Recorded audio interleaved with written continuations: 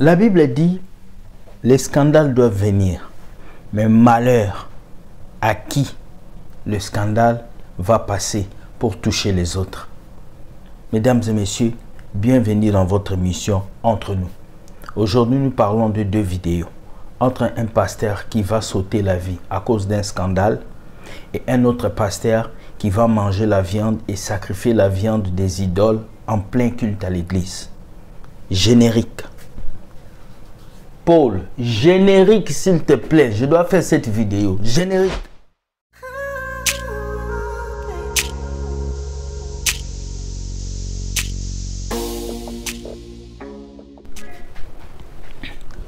Nous sommes tellement nombreux à venir vous dire, priez pour vos pasteurs, priez pour vos prophètes, priez pour ceux-là que Dieu a mis devant vous, car ils ont besoin de la prière. Beaucoup de pasteurs que vous voyez vivent des moments difficiles, et même si on vient d'annoncer certains, il y a des vrais qui sont là qui ont besoin d'intercession. Lorsque je, lorsque vis cette vidéo, ça m'a fait mal. Beaucoup de douleur de voir un pasteur sauter la vie parce qu'il y a eu un scandale. Ce pasteur que vous voyez vient de sauter la vie au Zimbabwe. C'était un très grand révérend. Il avait des, églises et il était très respecté. Mais sauf que ce pasteur avait fait un scandale mauvais. Regardons cette vidéo et nous revenons juste après. Regardez. Meet Reverend Oscar Mukahanana, who tragically ended his own life as a result of the immense shame and criticisms he faced after a scandal involving his adultery was exposed. Reverend Mukahanana, the Methodist Reverend, found himself unable to bear the weight of the shame and reproach that emanated from both church members and his own family. Ultimately choosing a tragic and hasty end to his life. This clergyman was allegedly involved in an extramarital affair with a young female member of his congregation. The sordid detail of their liaison was revealed through leaked WhatsApp audio recordings that shocked the church community. These audio files expose the clandestine meeting between the clergyman and the church lady, where they engaged in intimate encounters that extended for hours. These recordings also capture their pillow talk, revealing that Reverend Mukahanana took pride in the satisfaction he provided to the young woman. In one of the WhatsApp audio messages, both the Reverend and the youth member could be heard moments of passion, audibly expressing their pleasure. In another, they were audibly short of breath and they engaged in another session of their affair. In an unfortunate turn of events, Reverend Mukahanana mistakenly shared these explicit audio recordings in the church's WhatsApp group. The revelation caused an uproar among church members who could not contain their shock and began forwarding the recordings to other groups. Some even resorted to creating memes and ridiculing the clergyman, transforming the situation into a scandal of epic proportions. As the scandal unfolded, it cast a dark cloud over Reverend Oscar Mukahanana's reputation, bringing significant attention to both the church and his family. The weight of guilt and the relentless pressure that descended upon him became unbearable, ultimately leading him to make the tragic decision to end his own life. This devastating incident serves as a poignant reminder of the far reaching consequences of public scandal and the importance of addressing such issues with compassion and support rather than judgment and ridicule. Would you end your own life for a mistake as N'est-ce pas que la Bible dit le salaire du péché, c'est la mort? Ben voici ce qui s'est passé avec ce pasteur. Il a couché avec une fille de son église et pendant qu'il a couché avec cette fille, il y a eu beaucoup de choses. Alors le pasteur a fait mérite avec des messages WhatsApp. Il a parlé avec des amis ou des gens qu'il connaissait. Alors un jour par erreur, le pasteur a envoyé tous ses secrets WhatsApp dans le groupe de l'église. Et toute l'église était au courant maintenant que le pasteur avait couché avec cette fille et qu'il était même en train de vanter ses ébats sexuels avec cette fille. Alors tellement le pasteur a eu honte que ça a tourné dans la ville, le pasteur s'est ôté la vie. Et voilà, vous avez vu la vidéo, comment est-ce qu'ils sont en train d'enterrer ces pasteurs de l'église méthodiste. C'est triste de voir que beaucoup d'hommes de Dieu aujourd'hui font des bêtises et des erreurs. Et ces erreurs tournent sur eux-mêmes et ils ne peuvent plus assumer.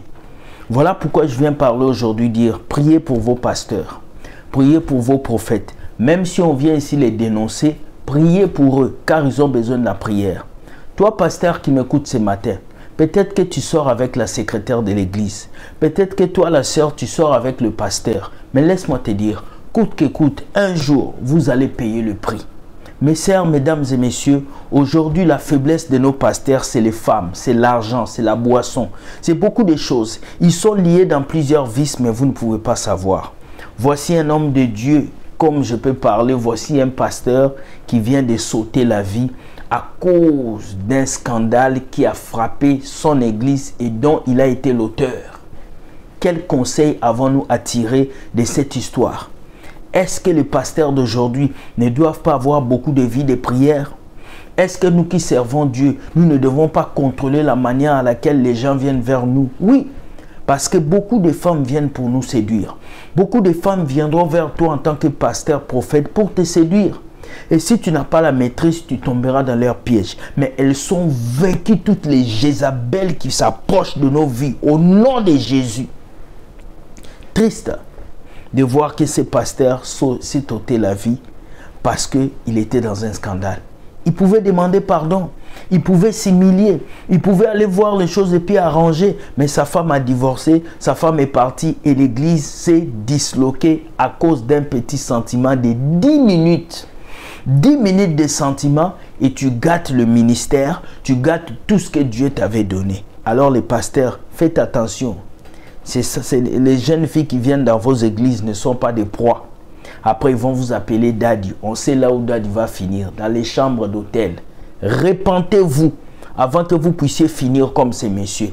Et vous, les fidèles, priez pour vos pasteurs. Et vous, les jeunes filles, habillez-vous bien. Couvrez vos corps pour ne pas faire tomber vos pasteurs dans la tentation. Pasteur, si tu veux délivrer une femme, fais-le avec un associé. Ne sois pas seul avec une femme dans le bureau parce qu'elle va te tenter, elle va essayer de te faire tomber. Voilà. Deuxième vidéo nous amène au Congo, plus précisément à Kinshasa. Moi, je sais que dans la Bible, c'est écrit Dieu a tout accompli pour nous. C'est écrit. Mais je suis étonné de voir quelqu'un, un pasteur, qui est en train de sacrifier la viande en plein culte au début de l'année devant tous les fidèles et personne ne le gifle, personne ne lui dit la vérité. Regardez cette vidéo, on revient juste après. Regardez.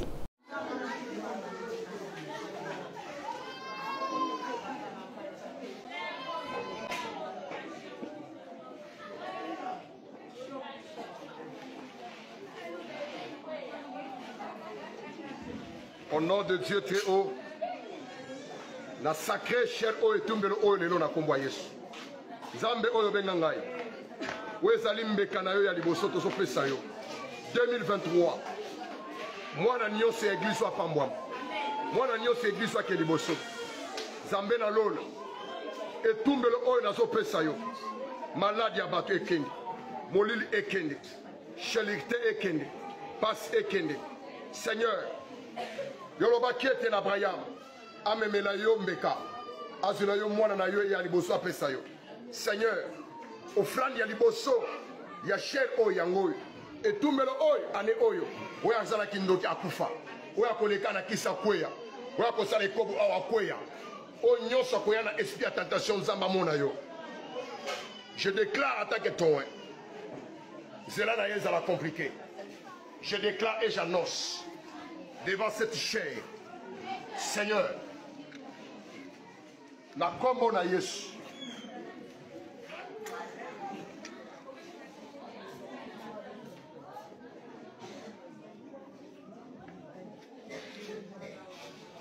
Loba. Ngama na se nayibaka. Loba nganga.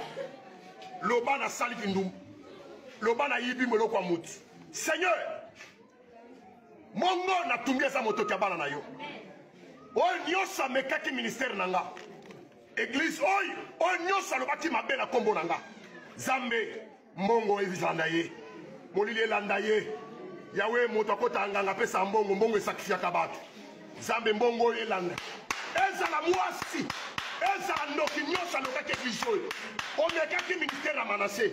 Ane oyo 2023 natie tumbelo na ngai natumbi mbongo oyo eza sakrifisi na ngai ya ane yo moto oleki na nzela na ngai na mabe okomona nzambe na ngai.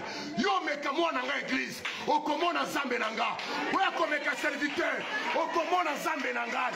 Oyo akomeka bana na ngai akomona bana oyo. Oyo akoluka motu ya serviteur motu ya protocole motu ya intercesseur. Nzambe na lola amona yo.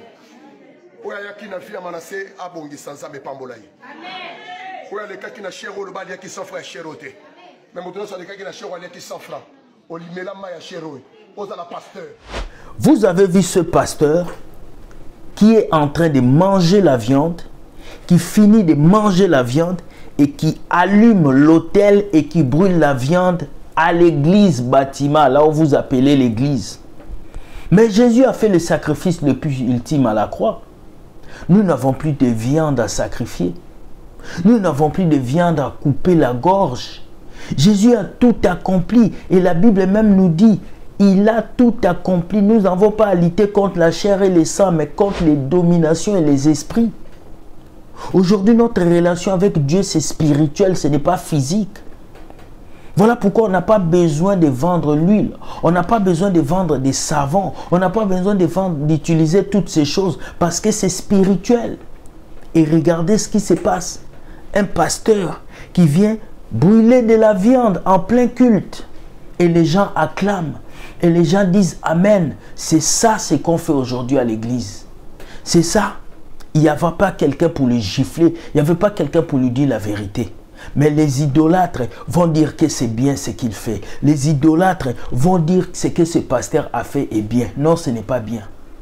Jésus nous a sauvés. Il est dans nos cœurs.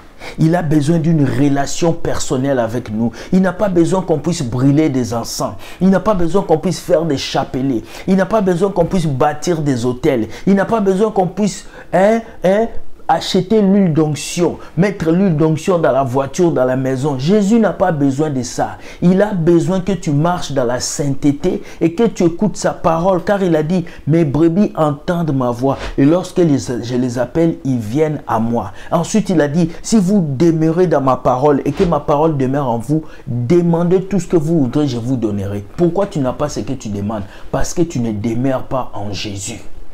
Chrétien, ouvre tes yeux et ne laisse pas ces genres de pasteurs te distraire. Tu entres dans une église, tu vois que la chair est en train de dominer. Sors et va chercher des vrais pasteurs, des vrais hommes de Dieu qui te prêchent la repentance, des vrais hommes de Dieu qui te prêchent le retour du Christ, des vrais hommes de Dieu qui te ramènent à la saine doctrine qui est la mort et la résurrection de Jésus. Sur ce, je finis cette vidéo en vous disant, qu'est-ce que vous pensez des deux vidéos? Le premier pasteur qui s'est ôté la vie, est-ce que vous pensez que à cause d'un scandale, un pasteur peut sauter la vie? Car Dieu dit, toute personne qui essaie d'enlever sa vie, c'est un péché. Il va aller droit en enfer. Alors, est-ce que ce, cette première vidéo vous a appris quoi? Et la deuxième vidéo, qui est ce pasteur qui vient faire l'holocauste à l'église, que pensez-vous de ça? Dites-moi ce que vous pensez. Et si vous avez des vidéos à nous envoyer, Voici notre numéro de téléphone. Envoyez-nous des vidéos par WhatsApp.